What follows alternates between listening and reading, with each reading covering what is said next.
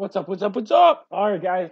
Quick market recap. I haven't done these in a little while, so I figured I'd do a quick one here for you on the S&P 500. As you can see, guys, we are just not really moving very much here. These last few days are just constant chop, no direction, up and down news. It is really sucking to trade right now. And you know what? Sometimes the best position in regards to that is not to have one at all um, I find out uh, honestly that the best thing is to make a trade, make it profitable, or stop out and just be done. Because literally, for uh, for instance, today we literally were just grinding up. I was in calls all day, and I was gonna swing the calls, and uh, then at the end of the day, we had this huge drop, which killed my options. Which absolutely, I swear, every time I go to the bathroom or something, then like the algo machine breaks down or something, and it's just killed me because this is a pretty extensive drop for you guys on the one minute. That's whew, that's a correction right there.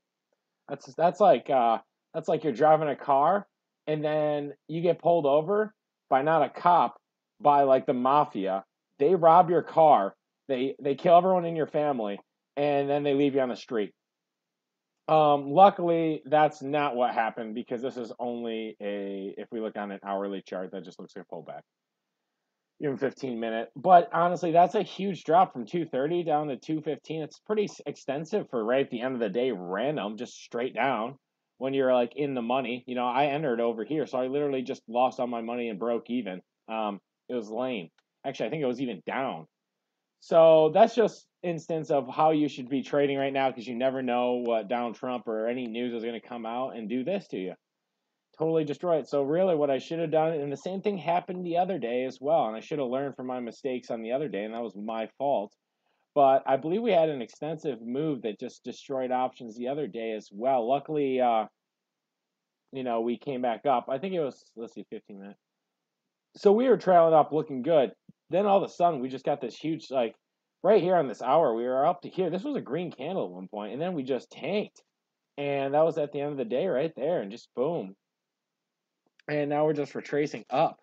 But I mean, honestly, the best thing to do in regards to this, if you're green right there, I hate to say it, but like just just take it.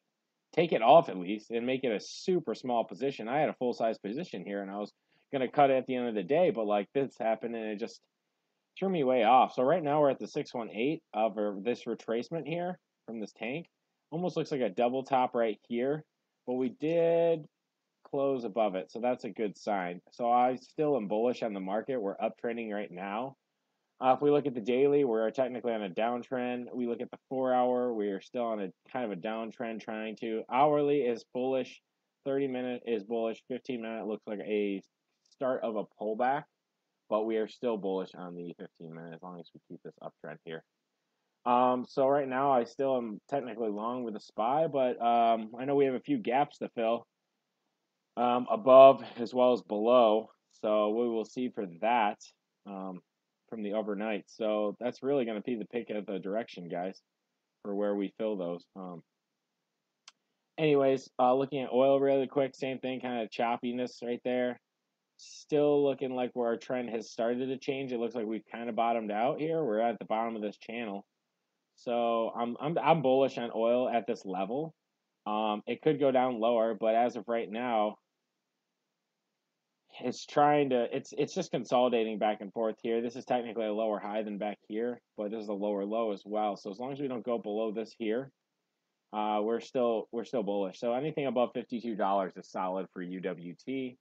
Gold is just really depending on news. Um, bearish overall. We're still keeping this downtrend here. If you were to make a trend line right here, that would be down. Um, but we'll see what happens. It could break above this and then bounce off of it, and that'd be a great long play. Or we could break down. Right now, we're just trailing sideways, so that's how I see that as of right now. Natural gas is still bearish as heck. Um, I'm feeling like this is probably the bottom right now, considering all the support here.